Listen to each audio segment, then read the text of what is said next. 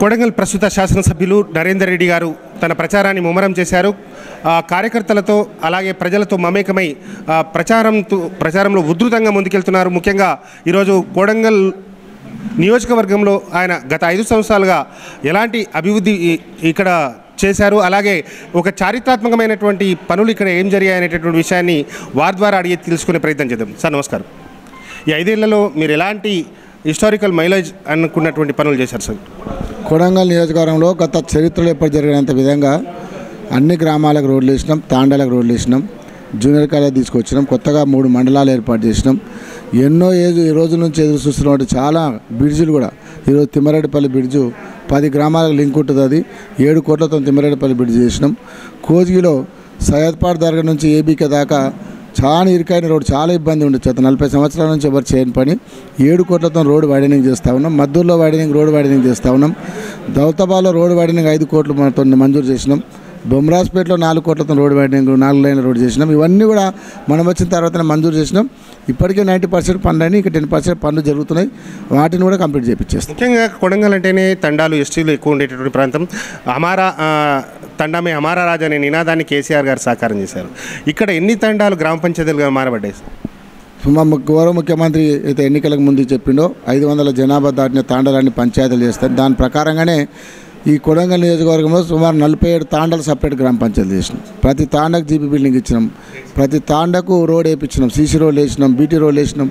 బ్రహ్మాండంగా తాండాల రోడ్ గతంలో ఎప్పుడు లేని విధంగా పనులు చేస్తూ ఉన్నాం. అదే కాకుండా ఈరోజు కోజికి బస్ డిపో కూడా కంప్లీట్ చేయించినాం ఎన్నో రోజుల నుంచి కోరుతున్నారు ఇవన్నీ కూడా రెండు హాస్పిటల్ కొడంగల్లో యాభై పడకలది కోచిలో యాభై పడకలు ముప్పై పడకలు మద్దూరులో మూడు హాస్పిటల్ కంపెనీ చేసి ప్రజలకు అందుబాటులో తీసుకొచ్చినాం. ఇట్లా చాలా కార్యక్రమాలు చేసినాం.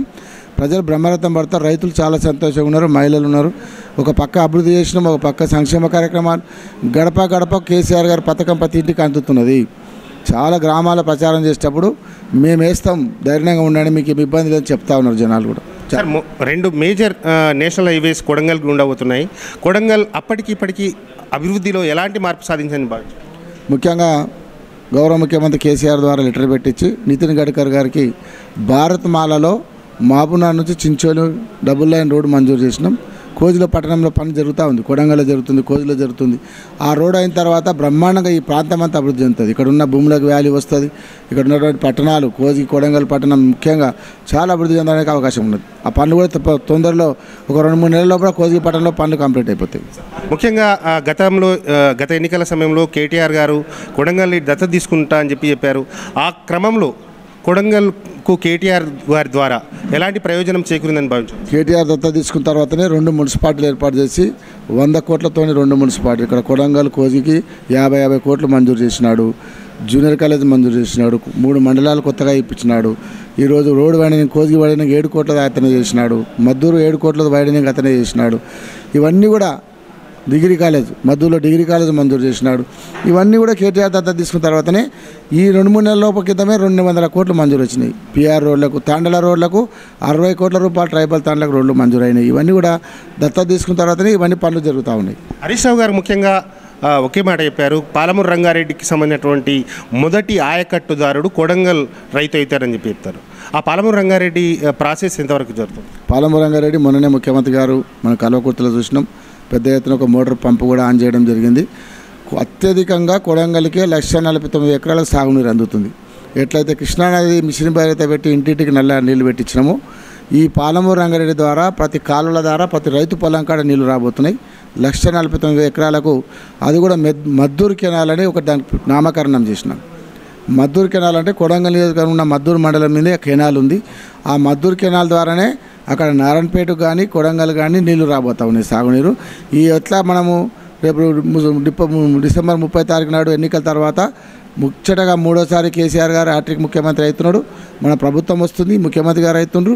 తప్పకుండా రాబోయే సంవత్సర కాలంలో కొడంగల్ నియోజకవర్గం అంతా కూడా శశిశామలమై సాగునీరు అందిస్తామని తెలియజేసుకుంటాం గతంలో మీ మీతో పాటు మేము జర్నీ చేసాం ప్రచారంలో. శాలిండపూర్ ఆ ప్రాంతాల్లో అసలు సర్- కనీస రవాణా సదుపాయాలు లేని పరిస్థితి. ఇప్పుడు అక్కడ ఎలా ఉంది సార్ పరిస్థితి? సాలిండపూర్ మీరు గతంలో వచ్చినారు ఎన్నికలప్పుడు అక్కడ డైరెక్ట్ వచ్చినారు. ఇప్పుడు పోయి చూడండి డాంబర్ రోడ్ వేసినాం బీటీ రోడ్ వేసినాం అన్ని తాండలకు గట్టినాయక తాండకు బీటీ రోడ్ వేసినాం సాలిండపూర్ తాండకు బీటీ రోడ్ వేసినాం. అక్కడ ఉన్న తాండలు అన్నీ కూడా మ్యాక్సిమం రోడ్లు చేసేసినాం. కంపల్సరీ అన్ని తాండలు కూడా చాలా సంతోషంగా ఉన్నారు.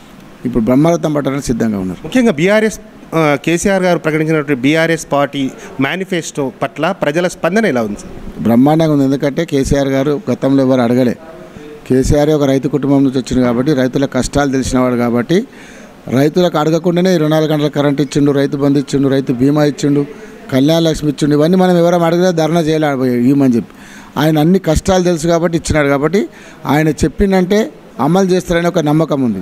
ఈరోజు రైతు రైతు రుణమాఫీ చేసినాం గురులక్ష్మి ఇండ్లు స్టార్ట్ చేసినాం దళిత బంధు ఇచ్చాడు కొత్త పథకం దళిత బంధు ఇచ్చినాడు ఇట్లాంటి పథకాలు పెట్టినాడు. కాబట్టి మొన్న మేనిఫెస్టోలో పెట్టినటువంటి బ్రహ్మాండంగా ఈరోజు పదివేల రైతు బంధు పదహారు వేలు కానీ నాలుగు వందలకే సిలిండర్ కానీ రెండు వేల పెన్షన్ ఐదు వేలు కానీ ఇట్లా అన్నీ కూడా ప్రజలకు చెప్తా ఉన్నాం. వాళ్ళు కూడా మంచి స్పందన ఉంది. కేసీఆర్ గారు చెప్పింది కాబట్టి ఆయన చెప్తేనే కంపల్సరీ అవుతుంది. ఈ కర్ణాటకలో కాంగ్రెస్ వచ్చింది అక్కడ ఏం అమలు కావడం లేదు. పక్కనే ఉంది కాబట్టి వాళ్ళు కాంగ్రెస్కే గ్యారెంటీ లేదు వాళ్ళు ఇచ్చే గ్యారెంటీలు ఎవరు నమ్మడం లేదు. ప్రజలు మీతో ఏమైనా సంభాషించిన పరిస్థితులు ఉన్నాయి? చాలామంది ఇక్కడ ఎందుకంటే చాలామంది బంధువులు ఉంటారు. పక్కనే కర్ణాటక కాబట్టి అక్కడ ఉన్న పరిస్థితులు అందరూ మనం తెలుస్తా చెప్తా ఉన్నారు. మొన్నటికి మొన్న ఐదు ఆరు వందల మంది రైతులు వచ్చి కొడంగలో ర్యాలీ తీసి తెలంగాణలో మీరు మోసపోకండి మేము కర్ణాటకలో మోసపోయినాం మేము ఓటు వేసినాం చెప్పింది ఒక్కటి కూడా అమలు చేయలేరు ఏడు గంటల కరెంట్ అని మూడు గంటల కరెంట్ ఇస్తున్నారు. రెండు వేల పెన్షన్ అని ఐదు వందల పెన్షన్ ఇస్తున్నారు. రెండు వందల current charge unit current charge free అని అది కూడా ఇస్తలేరు. మహిళలకు ఉచిత బస్సు అదని బస్సులే బంద్ చేసిరమని చెప్తా ఉన్నారు. కాబట్టి అక్కడ పక్కన కర్ణాటకలో కాంగ్రెస్ గవర్నమెంట్ ఉంది అక్కడ ఇయ్యలేదు ఇక్కడ ఎట్లిస్తారనేది ప్రజలందరూ కూడా గమనిస్తున్నారు తప్పకుండా. సార్ మరో ముఖ్యమైనటువంటి మేనిఫెస్టోలో అంశం కేసీఆర్ బీమా ప్రజలకు ధీమా అనేటటువంటిది. నిజంగా ఆ బీమా వల్ల సామాన్య మానవుడికి సామాన్య కుటుంబుడికి ఎలాంటి ప్రయోజనం చేకూరండి? అది చాలా మంచి పథకం. పేద కుటుంబానికి ఒక ధీమా.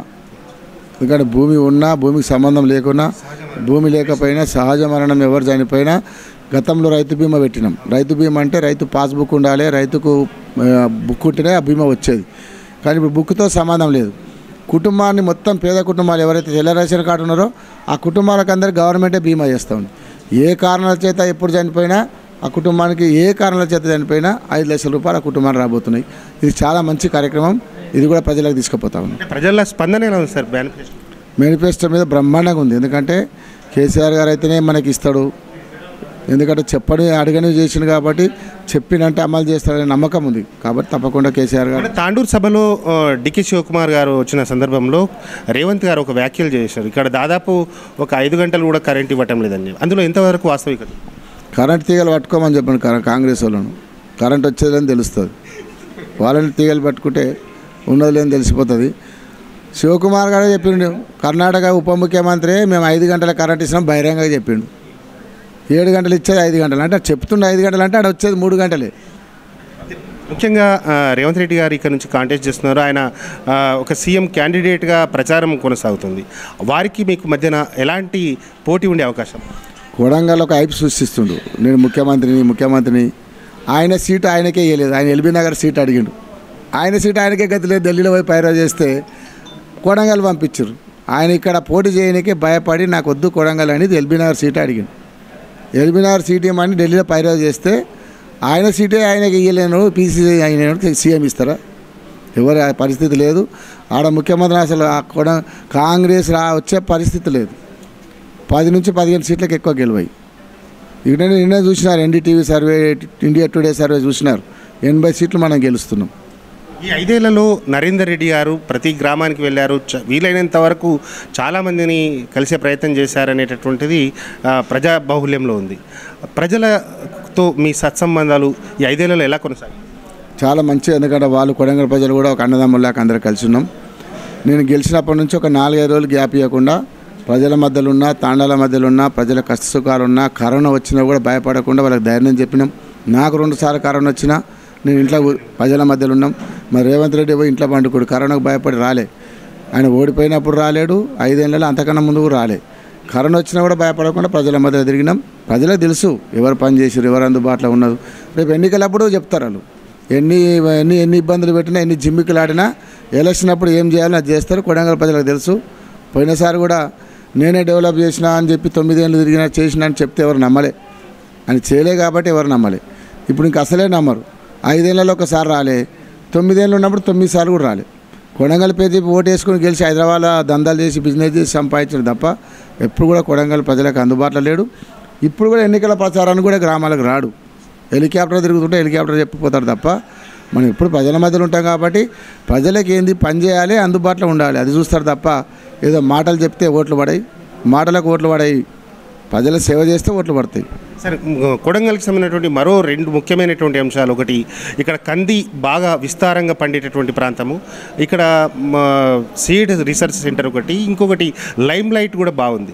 ఆ లైమ్ లైట్కి సంబంధించినటువంటి ఇండస్ట్రీస్ గతంలో మీ అంశాల్లో ఉన్నటువంటివి ఈ వీటికి సంబంధించినటువంటి ప్రోగ్రెస్ ఏమైనా భవిష్యత్తులో ఉండే ఆల్రెడీ చంద్రకళ గ్రామంలో వంద ఎకరాలు మనం సైట్ ఎక్ల- సెలెక్షన్ చేసినాం. ఇండస్ట్రీకి ఒక ఒక- మంచి కంపెనీ ఇద్దాం యువతకు ఉద్యోగాలు కల్పించాలని. ఆల్రెడీ మనకి ఇండస్ట్రియల్ డిపార్ట్మెంట్ నుంచి కలెక్టర్ గారు కూడా వచ్చింది సర్వే జరిగింది ప్రపోజల్ వచ్చింది అంతలో కూడా ఎన్నికల కోడ్ వచ్చింది కాబట్టి ఎన్నికలు అయినాక తప్పకుండా మంచి ఒక ఇండస్ట్రీ ఇక్కడ వేసి యువతకు ఉద్యోగాలు కలిపిపోతా ఉన్నాం. సార్ ముఖ్యంగా మీ కొడంగల్ ప్రజానికానికి మీ ఓటర్లకు మీరు ఇచ్చే మెసేజ్ తప్పకుండా గత ఐదు సంవత్సరాల నుంచి కన్నా ముందు కూడా మనము మంచి మెజార్టీతోని రెండు వేల పద్దెనిమిదిలో రెండు వేల పద్దెనిమిదిలో పదివేల మెజార్టీతోని గెలిపించినారు. ఇప్పుడు కూడా ఆయన నమ్మకం ఉంది. వాళ్ళకి అందుబాటులో ఉన్నాం. వాళ్ళకు కూడా పని చేసినాం. గ్రామాల అభివృద్ధి చేసినాం. అన్ని రకాల వాళ్ళకి ఎప్పటిలాప్పుడు అందుబాటులో ఉన్నా కాబట్టి తప్పకుండా ముప్పై నుంచి నలభై వేల మెజార్టీతో భారీ మెజార్టీతో నన్ను గెలిపిస్తారని నమ్మకం నాకు ఉంది. వాళ్ళ ప్రజలకు కూడా విశ్వాసం ఉంది. నా మీద నా మీద వాళ్ళకు కూడా నమ్మకం ఉంది. Thank you thank you so much sir ఇది ఇది నరేందర్ రెడ్డి గారితో ప్రత్యేక ముఖాముఖి కార్యక్రమం. వారు ఒకే విషయాన్ని స్పష్టం చేయదలిచారు. గతంలో ఈ ప్రాంతం ఒక కరువు ఛాయలతో ఉన్నటువంటి ప్రాంతం. ఈ ఐదేళ్ళలో అద్భుతమైనటువంటి ప్రగతిని సాధించింది. కేటీఆర్ గారు దత్తత తీసుకోవడం వల్ల కోడంగల్ రూపురేఖలే మారిపోయాయి. కాబట్టి వచ్చే సమీప భవిష్యత్తులో ఐదు వేల మంది యువతకు ఉపాధి కల్పించే విధంగా ఒక ఇండస్ట్రీని కూడా ఇక్కడ ఎస్టాబ్లిష్ చేయబోతున్నాం. ఖచ్చితంగా ప్రజాశీర్వాదం తనకే ఉంటుందని ఆయన విశ్వాసం వ్యక్తం చేస్తున్నటువంటి పరిస్థితి.